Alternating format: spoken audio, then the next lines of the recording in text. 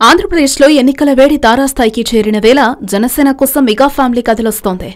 మొన్న నాన్నకు తోడుగా బాబాయ్కి అండగా ప్రచారంలోకి మెగా హీరో వరుణ్ తేజ్ వచ్చాడు. ఇప్పుడు బాబాయ్లకు బాసటగా mega power star Ram Charan రంగంలోకి దిగుతున్నారు.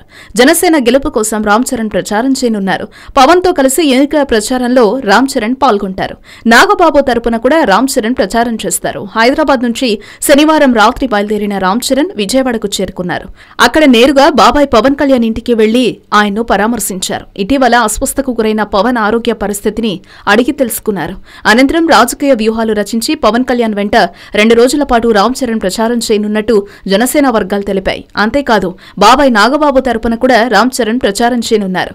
కాగా నేడు రేపు రామ్ చరణ్ పలు బహిరంగ సభల్లో కూడా పాల్గొంటారని జనసేన వర్గాలు తెలిపాయి. ఎన్నికల ప్రచారానికి మూడు రోజులే సమయం ఉన్న నేపథ్యంలో రామ్ చరణ్ ఎంట్రీ జనసేనలో కొత్త జోష్ నింపనుంది.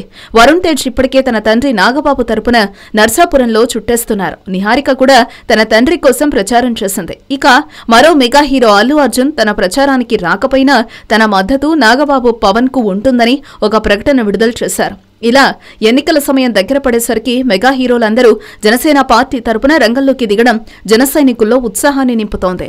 మరి మెగా హీరోల ప్రచారం ఏ మేరకు ప్రభావితం చేస్తుందో ఫలితాల తర్వాత చూడాలి మరి. హలో! మిమ్మల్నే ఫిలిం సెలబ్రిటీస్ రియల్ స్టోరీస్ ఏంటో తెలుసుకోవాలనుందా? లేటెస్ట్గా రిలీజ్ అయ్యే మూవీ రివ్యూస్ నేను చెప్తే వినాలనుందా?